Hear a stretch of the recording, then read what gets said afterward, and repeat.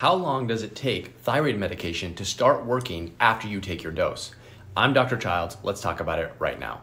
It takes about six weeks for a dose of thyroid medication that you are taking, or anything that you are taking that's designed to impact the thyroid, to have some effect inside of your body. Here's why. Thyroid hormones work on nuclear receptors on the inside of your cells to change genetic transcription. This results in changes in the production of different types of proteins and enzymes, which then have all of the desired effects that you were looking for as a thyroid patient. This is completely different from something like blood pressure medication, which can impact your blood pressure hours after you take your first dose.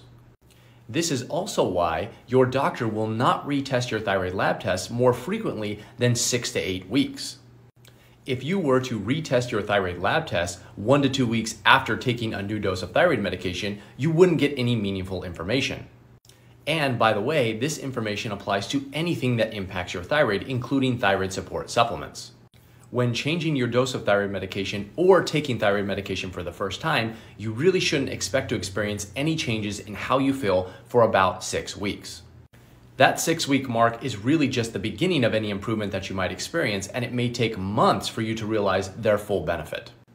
As a thyroid patient, it's really important for you to understand this so you know what to expect when you're changing medications, adjusting your dose, or if you're first starting to take thyroid medication.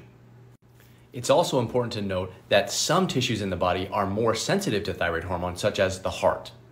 The heart reacts differently than any other tissue inside of the body as it relates to your thyroid, which means if you take thyroid medication, you might experience heart palpitations. But this is a unique scenario and it doesn't apply to most of the cells inside of your body.